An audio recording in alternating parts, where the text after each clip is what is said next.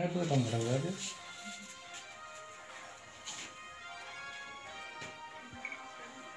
क्या नाम है आपका? मेरा नाम राजू है। राजू भाई क्या प्रकरण है? पूरा पूरा प्रकरण बताइए। मेरे चाचा की तबीयत खराब थी। हम्म। पेट में दर्द हो रहा था तो सारे लोग वहाँ थे। और जब मुझे बोला गया था कि जाओ डॉक्टर ले आओ। मैं डॉक्टर मोटरसाइकिल लेके डॉक्टर लेने जा रहा था। हम्म। तो घर से जैसे निकला तो घर के पीछे पाँच लोग थे। वो मुझसे दारू मंगा रहे थे। कौन पाँच लोग थे जिन्हें जानते वो प्रहलाद था एक हम्म। एक रामहरी था हम्म। कुक्कू सुनील और नीरज। कहाँ रहते हैं लोग? वो यही गाँव में रहते हैं। कारण क्या था आपको मारने का? वो सर वो बोल रहे थे कि एक पौआ ले आना उधर से पैसे दे रहे थे। मैं मैं नहीं जा रहा मैं डॉक्टर लेने जा रहा हूँ। कि भोसड़ी वाले चमार इतना बढ़ गया लेके नहीं आया लेके आया। मैंने ना ही कर दी उन्होंने मुझे ट्यूटर चालू कर दिया। आपने पुलिस को सूचना दी? पुलिस को तो बाद में पुलिस को सूचना दी थी पुलिस बाद में आई थी। किस तरह की कार्रवाई की गई है पुलिस द्वारा? पुलिस तो अभी तक कुछ नहीं की।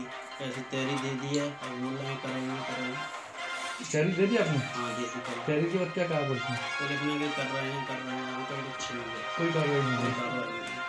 तो मेडिकल के लिए भेजा था आपको? हाँ भेजा था। मेडिकल के लिए भेजा? हाँ लेकिन कार्रवाई कोई नहीं कार्रवाई कोई नहीं है मेरा नाम पूरन सिंह है। भैया कहाँ रहते हैं आप? गाँव धनसिंह में रहता हूँ। क्या पूरा प्रकरण पूरा प्रकरण बताइए। ऐसा हुआ कि हमारे जो चचेरे भाई है उसकी तबीयत खराब थी। अचानक तबीयत खराब होने के कारण हम्म। जब राजकुमार जी यहाँ पे आए तो उनको बोला गया कि डॉक्टर को ले आओ। हम्म। तो जब जी डॉक्टर को लेने के लिए मार्केट नाट में जा रहे थे क्या रिश्ता आपका? ये मेरा भतीजा लगता है खास। अच्छा। तो रास्ते में जाए तो कुछ लोग चार पाँच लोग वहाँ पे बैठे शराब शराब का सेवन कर रहे थे। कौन लोग पी रहे थे? कुछ जानते हैं? हाँ हाँ ये है राम हरी है। हम्म। और आपका पप्पू है हम्म। है हम्म। नीरज है। ये चार पाँच लोग वहाँ पे पी रहे थे तो मेरे संज्ञान में आया। और मुझे उनसे जानकारी मिली कि इन लोगों ने इन्हें रोका और इनसे बोला कि मेरे लिए दारू लेके आओ। लेकिन इन्होंने दारू का मना करने पर कि मेरे चाचा की तबीयत खराब है हम्म। मैं अभी दारू नहीं ला सकता। हम्म। तो ये जासूसक शब्दों का प्रयोग किया इन्होंने। ढेर चमार तुम ज़्यादा बन गए हो। हम्म। अगर तुम दारू हमारे लिए नहीं लाओगे। हम्म। तो इसी कारण उनको मारा पीटा जब वो घर के घर घर की रोड में आए तो घर पे हम लोग तो चाहते भैया की तबीयत खराब थी तो वहाँ पे थे सभी। हम्म। पुलिस द्वारा किस तरह की कार्रवाई की गई है? पुलिस द्वारा हमें आश्वासन दिया गया है लेकिन अभी तक ऐसी कोई कार्रवाई हमारे साथ में नहीं की गई है और पुलिस जो एस साहब हैं तो जब भी अगर हम अपनी बात रखते तो हमारी बात कोई सुनने को तैयार नहीं है। हम लोगों को ही डांटा जा रहा है।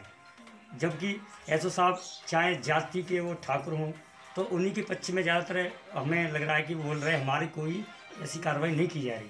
ठीक। शारदा। जी कहाँ रहते हैं आप? नहीं धर्म सिंह के प्राण क्या प्रकरण है? किस तरीके का झगड़ा हुआ? है अरे हमारे देवर से इस पेट में दर्द होने लगा से दवाई ले कौन गया दवाई लेने?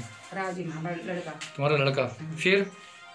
तेजे में डाल रहा है मारपीट का किसने किसने डाली आप जानते हो उन्हें?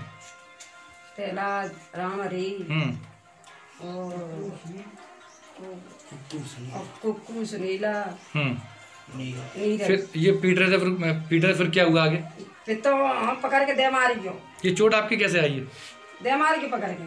तुमको? हाँ पसीटा लगा दे मैं पकड़ के। अच्छा।